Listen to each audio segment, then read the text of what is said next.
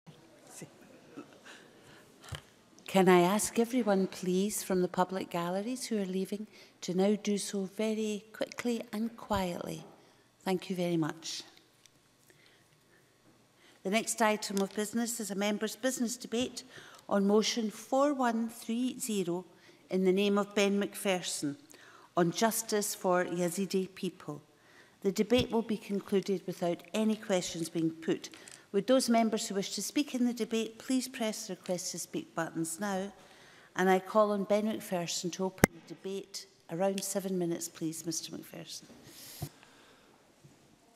Presiding officer, today we stand united against terrorism and in solidarity with all of those affected by such extremism and crimes against humanity. I would like to thank the presiding officer for securing debate time on the genocide of the Yazidi people and for recognising this issue as a matter of real importance to us all, as internationalists and as human beings. Recently, I visited a remarkable organisation called Multicultural Family Base in my constituency.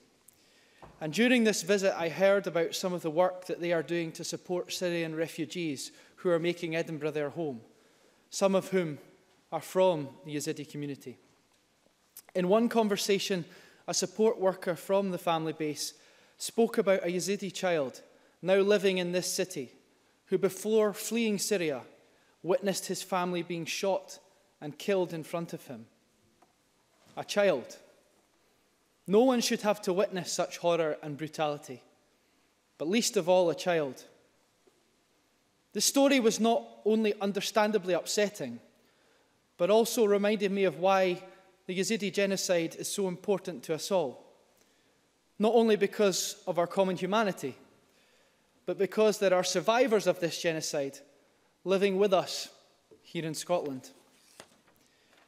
Genocide is an odious scourge which has inflicted great losses on humanity and is one of the most heinous crimes under international law and the law of civilized nations. And make no mistake, the issue before us today is one of genocide as defined under the 1948 Genocide Convention. A genocide committed against the Yazidi community by the fascists in the form of Daesh. This atrocious violence began in August 2014 when Daesh overran the town of Sinjar in northern Iraq. Since then, it is estimated that approximately 10,000 Yazidis have been murdered, with as many as 40,000 currently seeking refuge. Yazidi community leaders in Iraq have horrifically reported the discovery of mass graves containing thousands of bodies.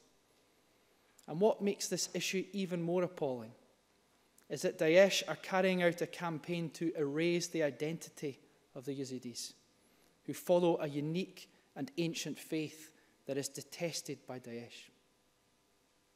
As well as acts of murder in pursuing their barbaric and horrific determination to ethnically cleanse the region of Yazidis. Daesh are forcibly running a conversion campaign, with Yazidi males being forced to change their religion and Yazidi females being treated as sex slaves. It is reported that as many as 7,000 Yazidi women have been captured as sex slaves. And while rape has been used as a weapon of war before, the scale and the nature of the recent and current violence against the Yazidis is gruesomely unprecedented. Among those 7,000 women captured by Daesh was 21 year old Nadia Murad. After successfully escaping Daesh's camps, she has courageously spoken out about the suffering and torture endured by her and her fellow Yazidis. As a human rights activist, Nobel Peace Prize nominee, and UN Goodwill Ambassador, Nadia Murad has campaigned bravely and effectively for the Yazidi cause. Survivors like Nadia Murad have spoken out about how Daesh has imposed the institutional practice of slavery within its so-called caliphate, and how they grotesquely encouraged the systematic rape and sexual enslavement of non Muslim women. Young Yazidi women are treated as commodities, heinously distributed among Daesh militants. As mentioned earlier, Yazidi children have also suffered at the hands of Daesh. Yazada are an NGO in the US and here in the UK who are responding to the needs of the Yazidi community. They have reported that Yazidi male children aged between 5 and 15 years old, are separated from their families by Daesh and transferred forcibly to locations in Iraq and Syria to receive religious and military indoctrination and become so called cubs of the caliphate. Not only are these boys taught how to use guns and rockets, they are forcibly and twistedly shown violent graphics to manipulate them to be violent and hateful towards their own community. In response to all of this brutality, here in Scotland, and as a people that, strongly, that are strongly committed to human dignity, human rights, and equality, as a country who celebrate cultural, religious, linguistic, and ethnic diversity, here in Scotland, we must condemn these atrocious acts of extreme human suffering towards the Yazidi men, women, and children, and call upon those with power to confront the bigotry, brutality, and religious intolerance of Daesh. I welcome the efforts of Iraq, Greece, Turkey, Canada, Germany, and Britain to provide refuge to Yazidis. However, it should be noted that there are still thousands of Yazidis in Daesh captivity who are suffering unthinkable grief and torture as we speak today.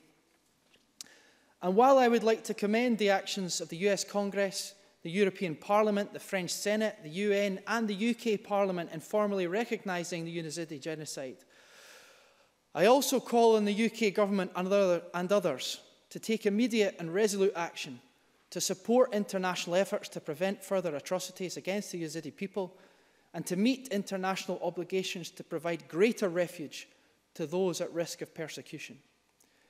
I also call on the UK government to, to request that the UN Security Council refer the genocide committed against the Yazidi people to the International Crimin court, Criminal Court, which Nadia Murad and her lawyer Amal Clooney have been courageously pressuring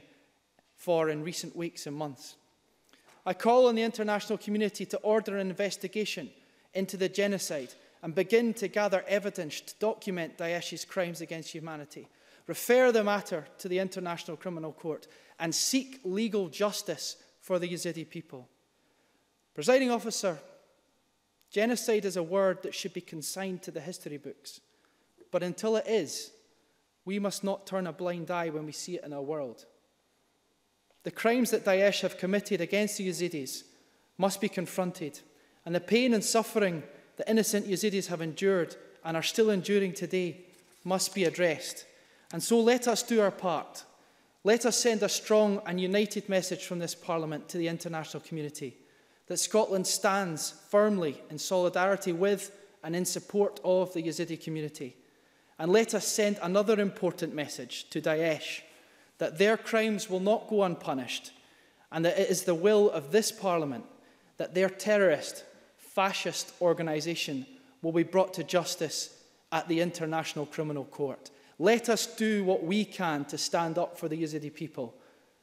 and protect and support our fellow human beings.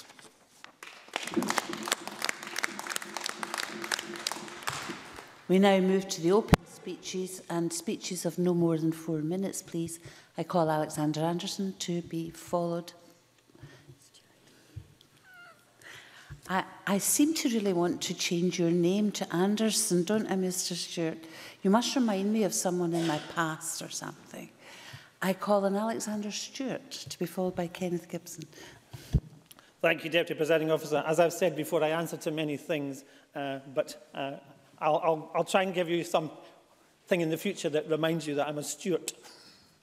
Uh, thank you very much for the opportunity, Deputy Prime Officer, and can I congratulate uh, Ben McPherson on highlighting the issue uh, today on the crimes committed against the Jujutsu people uh, and congratulate him on securing this debate here today. I think it's important that we give uh, an opportunity uh, to have it here. The plight of the Jujutsu people is, without question, very difficult for some of us to comprehend. It's as if we're going back to a darker time in our history. You know, we're living in 2017, uh, and the atrocities that we're hearing about are, are so hideous uh, that it, it's, as I say, incomprehensible uh, for individuals living uh, uh, today. So, Deputy Presiding Officer, uh, uh, the so-called Islamic State have enslaved uh, and killed thousands of Yazidi people uh, and forced them uh, to take on board uh, uh, these horrific situations that they find themselves in. And more than 400,000 Yazidi people have fleen uh, uh, and become refugees, and they've taken up uh, in camps in Iraq, Greece, Syria and Turkey. The crimes perpetrated by Daesh go beyond the atrocities of, of rape and murder uh, themselves. They have set out to destroy an ancient culture. And in doing that, uh, they want to raise that culture uh, from every part uh, of, the, of the globe. Ministers in the United Kingdom government, including the Parliamentary Under Secretary of State uh, for Foreign and Commonwealth Affairs, Tobias Elwood, have been clear that they believe that genocide has taken place uh, and that uh, has uh, to be taken to the authorities uh, and used. Uh, and I commend uh, what uh, the member is trying to achieve. The United Kingdom is committed to supporting efforts to gather uh, and ensure that evidence can be put in front of uh, courts uh, that show uh, that the law has been uh, uh, persecuted and individuals have been uh, subject to these horrific situations. And the UN has to design a system uh, for us to collect that evidence and to ensure that that evidence can be put in a court of law. The forced sexual enslavement uh, of Yiddish women uh, and the so-called Islamic State of another it's a horrific situation uh, that, these, that these women find themselves in. You know, it's modern slavery. Uh, now, we, we're well aware that, that, that there is a significant problem uh, in, in other parts of the globe as well with reference to slavery. Uh, and we've even got uh, indications of what is happening here in the United Kingdom, uh, Deputy Presiding Officer. So this is a, a, a situation that all governments have to uh, embrace and take on board. Uh, the UK government is committed to combating modern slavery and human trafficking, uh, and the Prime Minister has committed uh, £33.5 million pounds, uh, to a fund to aid the programme uh, to ensure that it is tackled at the root cause. Uh, the vast majority of international communities uh, are, are opposed to Daesh and every part of uh, their ethos and what they're trying to achieve. While they have failed to create a state, they have continued to terrorise people throughout the Middle East and to attack innocent civilians across the globe in September last year, uh, in collaboration with the counterparts in Belgium and Iraq, the Foreign Secretary Boris Johnson launched a global campaign to hold Daesh to account for their crimes. And that has to take place. The governments across the world have to unite. Uh, the UK government is working closely with partner international uh, agencies uh, and will bring uh, uh, these to uh, fruition. And I, I look forward to seeing what plans are being proposed by, by governments and parliaments across the world. In conclusion, Deputy Presiding Officer, uh, the crimes perpetrated by IS against these uh, individuals are abhorrent uh, and that everyone in this chamber utterly condemns them. Uh, the United Kingdom is working constructively with international partners to fulfil a moral obligation uh, to ensure that the suffering that is presently taking place uh, is, is, is combated. Uh, and I would do all we can to secure that that happens. Thank you, Deputy Presiding Officer. Thank you, Mr Stewart. now call Kenneth Gibson to be followed by Lewis MacDonald. Signing off, so first of all, I'd like to thank my colleague Ben McPherson for lodging this motion and securing debating time on this matter, the importance and poignancy of which should strike a note with anyone who holds justice dear, particularly given the appalling events in London uh, of less than 24 hours ago. Genocide is universally acknowledged as one of the most abhorrent acts rightly considered the crime above all crimes and is something, as history has taught us, must never go never be ignored. is therefore of vital importance that the genocide perpetrated against the defenceless Yazidi people by Islamic State of Iraq and the Levant, or ISIL, be recognised and condemned as such on an international level. The peaceful Yazidis have suffered in previous times uh, persecution, but never uh, has a, a, an outright policy of extermination and assimilation being launched against him with such violence. The abhorrent and unprovoked display of, of violence which began on August, August 2014 with ISIL occupation of the predominantly Yazidi inhabited town of Sinjar resulted in the necessary deaths of thousands and what has been described by the UN as the largest mass kidnapping seen this century. By the end of August 2014, 1,600 to 1,800 or more Yazidis had been murdered, executed or died from starvation while fleeing.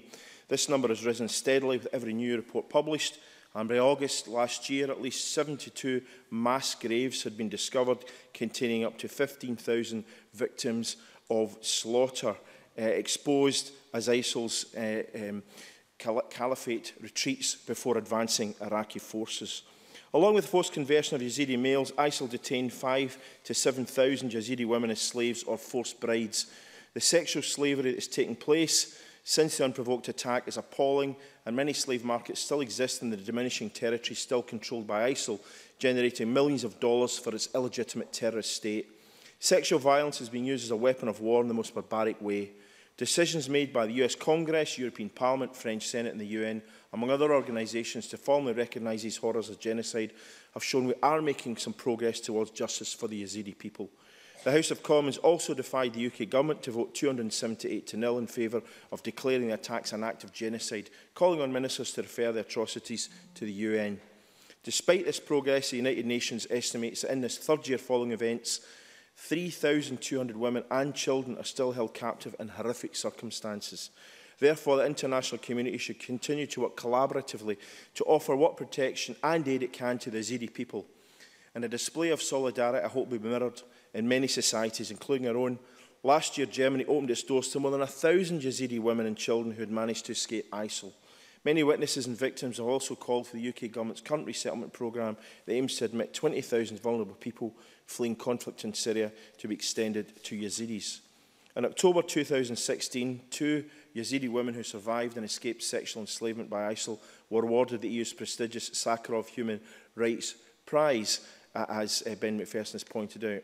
Nadia Murad and Lamia Ali Bashar have inspirationally spoke out about the horrors they faced at the hands of the militant group, therefore raising awareness and giving a voice to the voiceless. Yazda, an NGO that supports the Yazidi community in Iraq, recognised this as a cause for celebration, but respectfully added, and I quote, We sincerely hope that the international community will turn more attention to the thousands of Yazidi women and children still in captivity, the thousands of Yazidi men whose whereabouts remain unknown to their families, and the hundreds of thousands of Yazidis who remain displaced in Iraq and elsewhere and are unable to return to their homelands and begin rebuilding their lives. Scotland is undoubtedly committed to upholding human dignity, human rights and fundamental equality. Our country welcomes and celebrates diversity in all its forms. In the face of despicable brutality, promoting tolerance and acknowledging the unimaginable human suffering and loss that can be inflicted by bigotry, brutality and religious intolerance has never been more significant.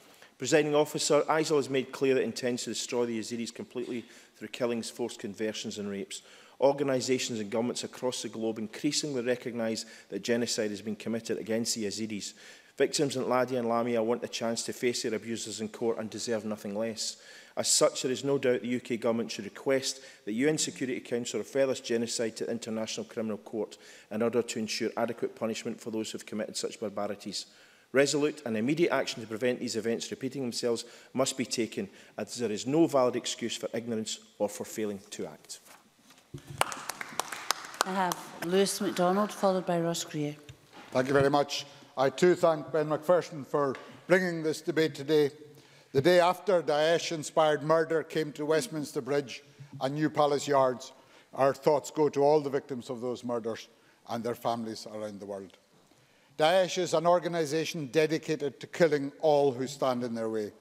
Their objective is to create a state built on violence, falsely claiming a connection with Islam and Sharia law, but in reality representing only the rule of brutal and angry men who are at war with us all.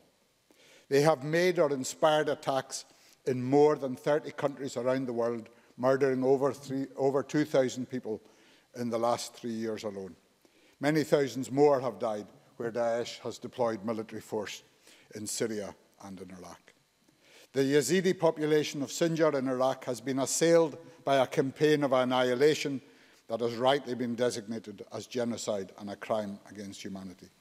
The murder of men and boys by the thousand, the enslavement and rape of like numbers of women and girls, the stealing of children and the destruction of villages have all been intended to eliminate the Yazidis as a people. This attempted genocide, like the atrocities against Christians, Shia Muslims and ethnic minorities across the region, show that self-styled Islamic State do not represent the true Islamic faith in any way. Far from a caliphate of the faithful, they would create a hell on earth. We should commend the courage and determination of the Yazidi people wherever they have taken refuge and help them reclaim their homes. History tells us that genocide does not just happen out of the blue, that Daesh is only the latest vehicle for murderous hatred in Iraq. It was the regime of Saddam Hussein which turned an ancient cradle of civilization into a prison state, run by men who killed with impunity sent out their agents to murder opponents around the world, and brought genocidal violence to a land of many faiths and many cultures. Saddam Hussein's war on Iran cost a million Muslim lives. As that war ended, his regime visited genocidal violence on the Kurdish population of northern Iraq. At Halabja, on the 16th of March 1988, they used mustard gas, cyanide and sarin to kill 5,000 defenceless civilians and to injure 10,000 more. The chief culprit that day was Ali Hassan Abdul majid cousin to Saddam Hussein, better known as Chemical Ali. Like his cousin, he was tried and eventually executed for his crimes. But many of the culprits of Halabja and the wider Anfal campaign against the Kurds remain unpunished. At least 100 former officers in Saddam's army are now to be found in the ranks of Daesh, doing to Sinjar today what they did to the Halabja 29 years ago. It was because such men were not brought to justice then that they are free to commit their crimes again. This time, they must be pursued with vigour and punished for what they have done. Those whose actions or reckless inaction have allowed those crimes to happen must also be held to account. Right now, the current elected government of Iraq has to give a lead in securing justice for all its citizens.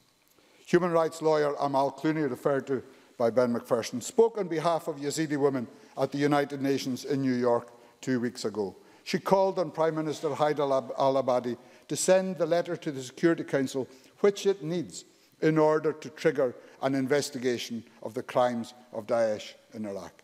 We should give our support to that call today. I hope the Minister uh, can say so in closing this debate, so that justice can begin to be done for the Yazidis and for all those who have suffered murderous violence in that country in the last 50 years.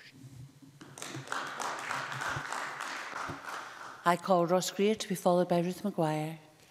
Thank you, Presiding Officer. Like colleagues, I'd like to thank Ben McPherson for bringing the atrocities uh, inflicted on the Yazidi people to the attention of this Parliament and allowing us to raise them here today.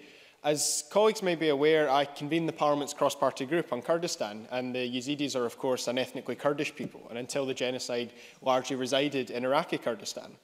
They've endured a long history of oppression due to their ethnicity and their unique faith, as Mr McPherson's has already mentioned.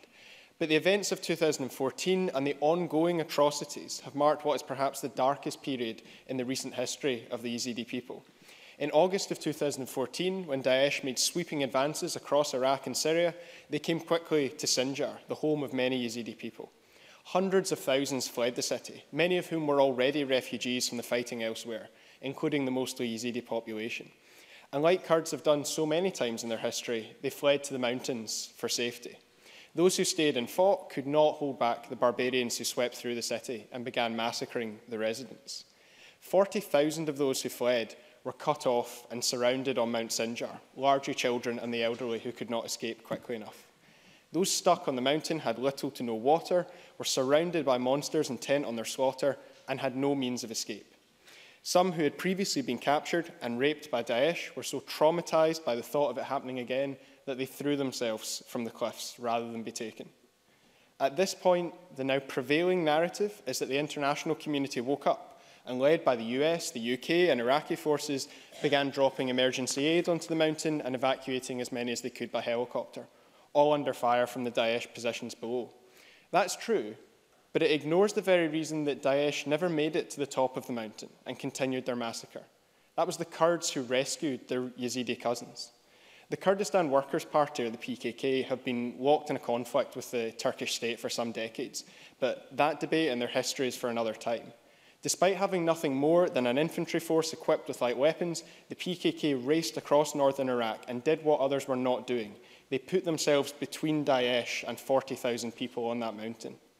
PKK fighters, men and women, joined by the YPJ Kurdish forces from northern Syria, moved in tractors and other vehicles and evacuated between 20 and 30,000 people from Mount Sinjar and into Kurdish-controlled northern Syria before repatriating them back into Iraq once it was safe.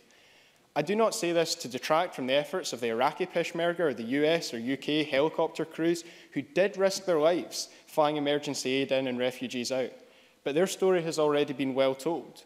The striking footage of helicopter crews dragging refugees on board while firing back at Daesh positions played out in media outlets across the globe but the stories of those volunteers on the ground did not. Not only did Kurdish forces, the PKK and the YPJ, later joined by Iraqi Kurdish Peshmerga, rescue those stranded in the mountain, they took back Sinjar, they drove Daesh out at great cost, and they continue to fight to regain their homes. In northern Syria, where the Kurds have built a democratic, feminist, multi ethnic, and multicultural society, Many Yazidis have joined the self-defense forces set up for them, received training, and to this day take part in the struggle to rid their region of the scourge of Daesh. I say this not to glorify war. It's horrific, it's tragic, and this conflict in particular has shocked us all with its brutality, but rather to highlight the defiance of the Yazidi people. Victims of genocide who have joined with other Kurds, Arabs, Assyrians, Turkmen, Muslims, Christians, and others, not just to defeat the hatred, but to build in its place a society built on values of equality, tolerance, and democracy. And I'm sure that we all have nothing but admiration for that. Uh, before I call Ms Maguire, uh, we do have another three speakers, uh, which will take us over allotted time. So I'm minded to accept a motion under Rule 8.14.3 to extend the debate by up to 30 minutes. Can I invite Ben McPherson, please,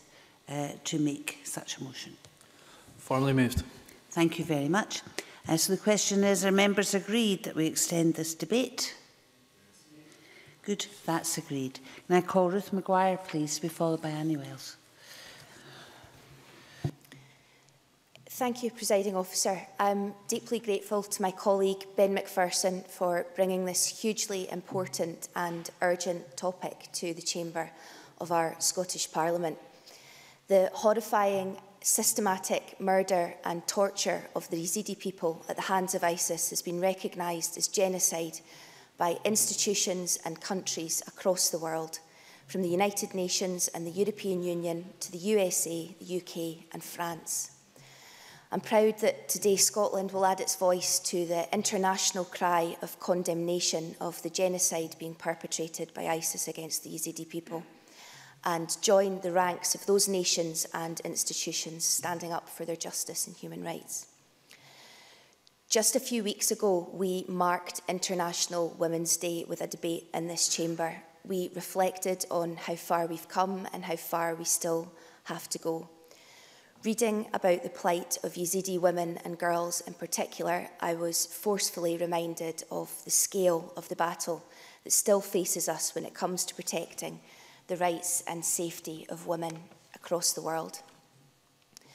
In pursuit of its abhorrent and deliberate policy of ethnic cleansing, ISIS has separated hundreds of young women and girls, some as young as 12, from their families. They've been sold, given as gifts, or forced to marry ISIS fighters and supporters. Many have been subject to torture, rape, sexual violence and forced into sexual slavery. An IS pamphlet produced for its supporters has the following to say about unbelieving women, such as Yazidi women and girls who've been captured. If she is a virgin, he, her master, can have intercourse with her immediately after taking possession of her. However, if she isn't, her uterus must be purified first.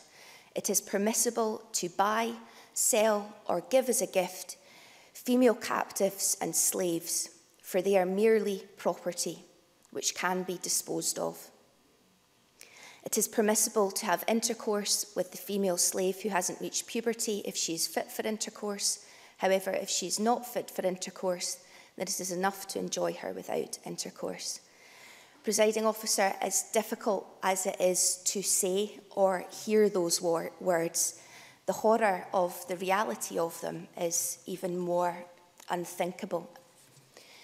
Many of us will have seen the video of Iraqi Yazidi e MP Vian Dakhil, who broke down into heart-wrenching tears in her own parliament. And she pleaded with her parliament and the international community, save us, save us from ISIS.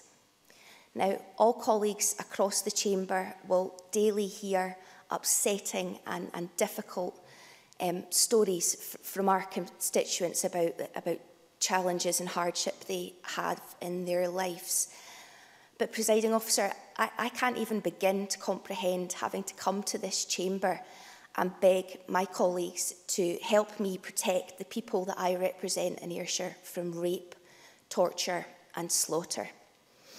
ISIS is committing war crimes, it's committing crimes against humanity, and it's perpetrating genocide. Not only that, but it's boasting about doing so. We can't stand by and allow this to continue. It must stop.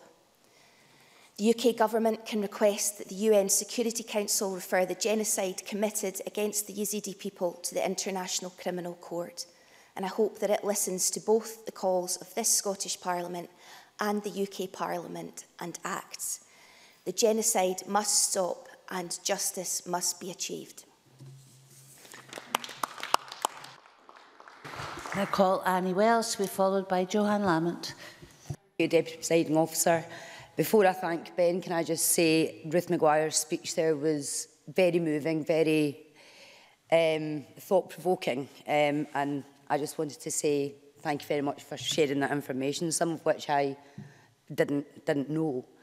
Um, I would also like to thank Ben McPherson for, for bringing the debate to the Chamber today. The, Yazid, the Yazidi people have been made the unfortunate subjects of, of centuries of oppression. In the modern day, although many have now fled to Australia, Canada and Germany, Iraq is now the one place where a sizable community still exists. Against the odds, and the Yazidi people remain under constant threat from the Islamic State campaign of murder, repression and violence.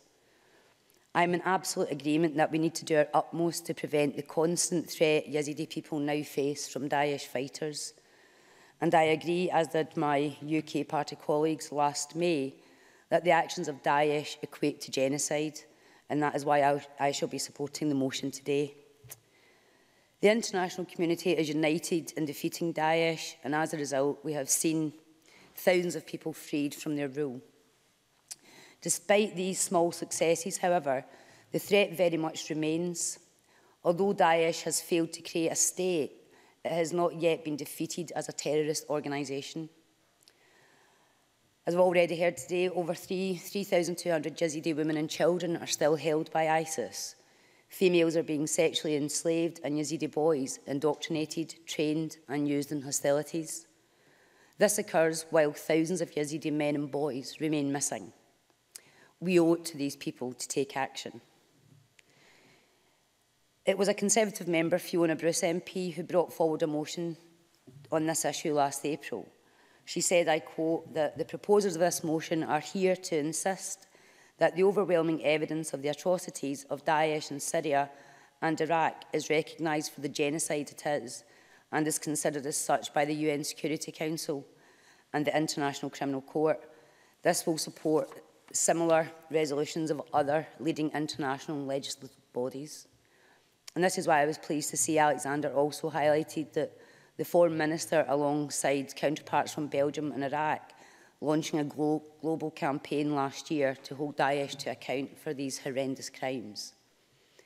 The British government is working with its international partners, in particular the government of Iraq, to bring forward a proposal at the UN to put the campaign into action and good progress has been made across the United Nations on designing a system whereby evidence can be collected to bring Daesh to justice.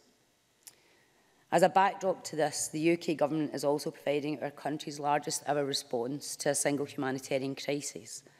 It has now pledged a total of over £2.3 billion to alleviate immediate humanitarian suffering through the provision of food, medical care and relief items to over a million people affected.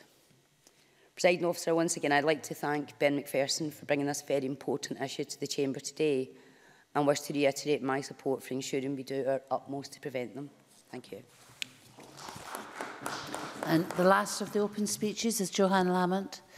Thank you very much, Deputy Presiding Officer. Can I say that I'm grateful for the opportunity um, to speak in this debate and can I thank everyone here who has made such powerful speeches, both showing a degree of, of knowledge and passion about a subject that I think is worthy of this place and I hope that people outside this chamber will take the opportunity to read these speeches and to learn about what is happening to the Yazidi people. And I do particularly want to congratulate Ben McPherson both on his uh, securing this debate and on his powerful speech. But particularly I appreciate that he's brought into the public domain the suffering of the Yazidi people, a suffering of which many of us have all too hazy a knowledge. We can recall incidents, we can remember something on the television, but as the cameras moved on, so have we. And we do live in a world with 24-hour news, but sadly, we do not live in a world of 24 hours attention. And too often atrocities across the world are picked up, we pay attention, and then we move on. And we know that it's important that we shine a light on such atrocities if justice is to be secured.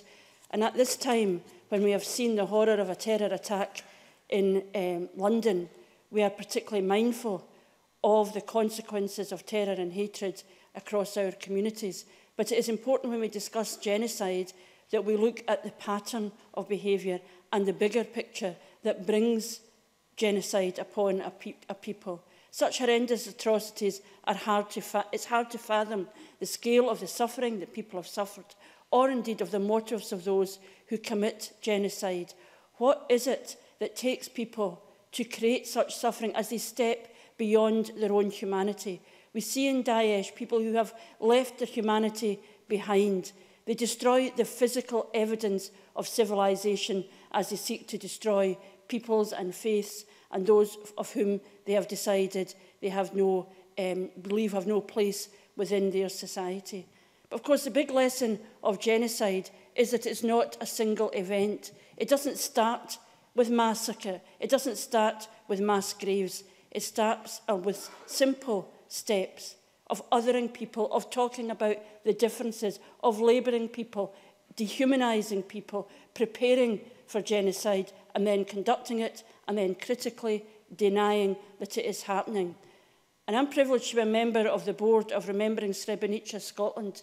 And that is a campaign that has been created to insist that genocide is understood, that the steps to genocide are understood, and the scale to which those committing genocide will go in order to deny their own crimes. In Bosnia, the mass graves did not just simply represent slaughter, they also represented the desire of those committing genocide to hide their crimes. And those forensic scientists, some of them wonderful people from within our own communities in Scotland, have piece by piece established that that genocide took place.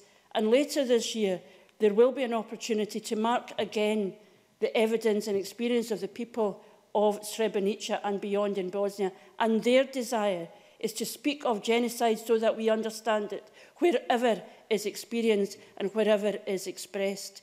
And this year, the theme, and I think it is an important theme that they have for their memorials this year, is breaking the silence on gender and genocide. Because we know in Bosnia, as indeed with the Yazidi people, there was a terrible slaughter visited upon the men and boys, but the women of Srebrenica, as in so many genocides, have seen themselves as, as victims of war, where rape and sexual violence of women have become a weapon of war, and so tellingly and so powerfully described by my colleague on the other benches. That is the way in which genocide operates. The steps towards it and then the utter dehumanising of men and women, and women violence, um, sexual violence becoming a norm, a horrific norm in their lives. And I want to conclude on just simply making two form, final points, if I may, Deputy Presiding Officer. We live in a very fragile world, and I think of the things that the new President Trump has said, the one that has scared me most is his comments that he would want to reduce the amount of funding that they would give as a nation to the United Nations. At this time, more than any, we need our international institutions to be strong, to take on those who would commit violence, atrocities, genocide against vulnerable people like the Yazidis um, that we have heard today.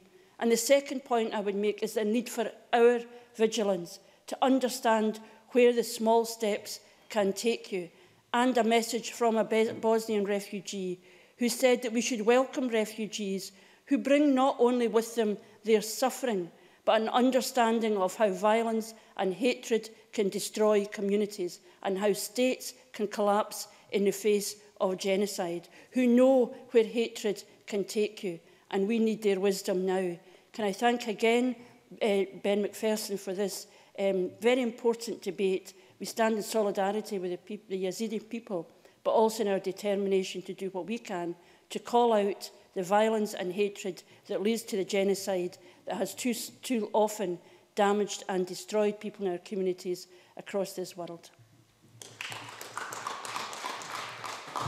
I now call Alistair Allen to close this debate. Around seven minutes, please, Minister.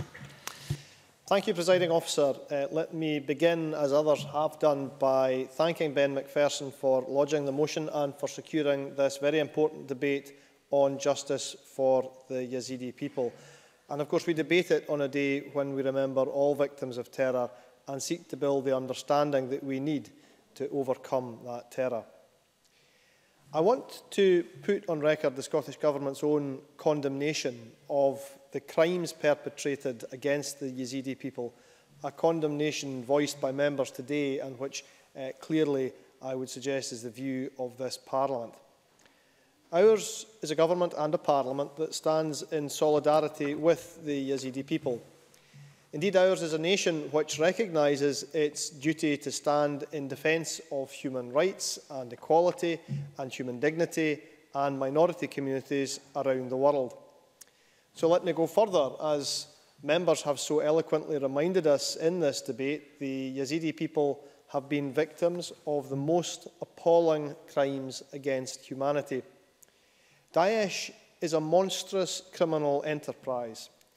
It has perpetrated a long list of atrocities and war crimes and human rights abuses. No one has been safe. Kurds and Arabs, Muslims and Christians, civilians, uh, the young, the old. And of course, uh, David Haynes and Alan Henning were murdered because they sought to bring uh, humanitarian aid to those in need. But in its campaign of hatred against the Yazidi people, Daesh has gone even further. It has exceeded even its own record of brutality. It has committed the ultimate and unforgivable crime in its fanatical desire to impose a corrupt and twisted interpretation of one of the world's great religious traditions, it has sought to destroy an entire minority culture, an entire faith, and an entire people. What the Yazidi people have suffered merits condemnation in the strongest possible terms. And today's debate has demonstrated that the Scottish Parliament is in no doubt about the matter. Daesh has committed and is continuing to commit genocide against the Yazidi people and against other religious and ethnic minorities. As we have heard, there is robust and unequivocal evidence that Yazidi men, women and children have been the victims of a campaign of murder, rape, abduction, sexual slavery, brutality and terror at the hands of Daesh in Iraq and Syria. The UN has confirmed that 5,000 Yazidi men have been executed and thousands of men and boys are still missing. Over 3,500 Yazidi women have been kidnapped by Daesh with multiple reports, as we've heard mentioned today, of sexual violence against women in detention and women living in Daesh-controlled areas. According to a UN report, the attacks on the Yazidis, which continue until the present day, are, are committed pursuant to an explicit ideological policy of the terrorist group, whose radical religious interpretation does not permit the existence of Yazidism within the territory it controls. According to some estimates, 70,000 people, or about 15% of the Yazidi population in Iraq, have fled the country, with many seeking asylum in Europe. The Yazidis themselves are in no doubt that their entire religion is being wiped off the face of the earth. This is a matter which needs urgently to be taken before the UN Security Council, before one of Iraq's oldest religious and cultural communities is exterminated. That, I believe, is the overwhelming view of members around this chamber. It is also, as Annie Wells alluded to, uh, the view expressed in the House of Commons uh, in April last year.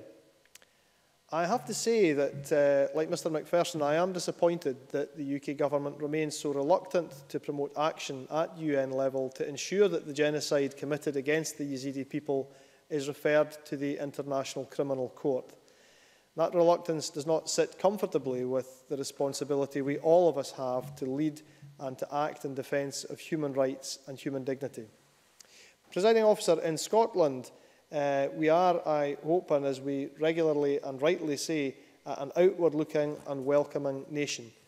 The Scottish Parliament has spoken out against actions here today uh, that amount to and are genocide. We speak out lest we forget the Armenian genocide and the Holocaust. We speak out because the world must act to prevent the repetition of the horrors we have seen visited upon Cambodia and Rwanda and Srebrenica uh, Halabja and Darfur. And we speak out because we know that such crimes continue to be committed, not just in Iraq and Syria, but in South Sudan, where personal greed, the thirst of power, and a poisonous cocktail of political rivalry and ethnic violence have created a new humanitarian disaster. Lewis MacDonald. He, he, he, he wants also to address wider issues. Before moving on from the issue of the Yazidis in Iraq, does he accept that the critical next step in terms of enforcement action by the United Nations is for the Iraqi government to take? And will he join uh, the call that I uh, made earlier that the Iraqi government should now take that step and send that letter to the Security Council? Alistair Allen. Yes, I, I believe that uh, the Iraqi government bear responsibility in that area as well. And I think that uh, all of us uh, should uh, seek to ensure that these are crimes uh, which uh, uh, uh come before uh, the UN and indeed uh, come before uh, international courts. Um, we speak out, as I say, about uh, uh, disaster, not disasters, we speak out uh, about uh, humanitarian disasters uh, that uh, are in many cases uh, caused directly uh, because of genocide. And we can't afford to pay mere lip service to the idea of human rights, of equality, of human dignity. We must live by the principles of tolerance, dignity and respect, and why we must never be complacent about prejudice, discrimination and hatred. This debate has been an opportunity to make a public statement of solidarity with the Yazidi people and with other oppressed peoples and communities around the world. As a nation, we have a responsibility to be a good global citizen uh, and to protect the world's most vulnerable people. And in conclusion, presiding officer, I can say that today's de debate has uh, made clear that the Scottish Parliament recognises and condemns the genocide perpetrated against the Yazidi people. We have united across party political lines to do so, and in doing so we also join with the United Nations and with other parliaments, Westminster, the US Congress, the French Senate and the European Parliament in expressing both our condemnation and our solidarity.